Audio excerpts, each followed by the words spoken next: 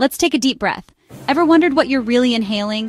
The air around us is a cosmic miracle, Earth's atmosphere, and honestly, its story is way wilder than you think. Let's rewind about 4.6 billion years. Earth was just a newborn rock, hot and angry with zero air.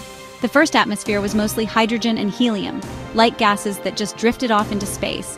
So how did we end up with the air we breathe today? Here's where it gets wild.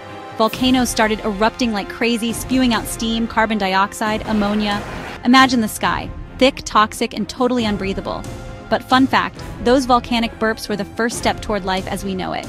Earth's early oceans actually formed from all that volcanic steam. As the planet cooled, the steam condensed into rain, pouring for thousands of years.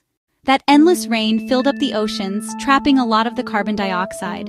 So oceans didn't just appear, they were literally cooked up by the planet itself. But wait, the air was still toxic. Enter the real MVPs, cyanobacteria, tiny, ancient microbes living in the ocean. They started photosynthesizing, using sunlight to turn CO2 into oxygen. For millions of years, oxygen just got sucked up by rocks and ocean chemistry, but eventually, it started to build up in the air. This is called the Great Oxygenation Event, and it was a total game changer. That oxygen boom actually wiped out most early life. Oxygen was toxic to them, but for others it was the start of something new, complex life, animals, and eventually us. And get this, the atmosphere is still changing. Every breath you take is part of an ongoing experiment.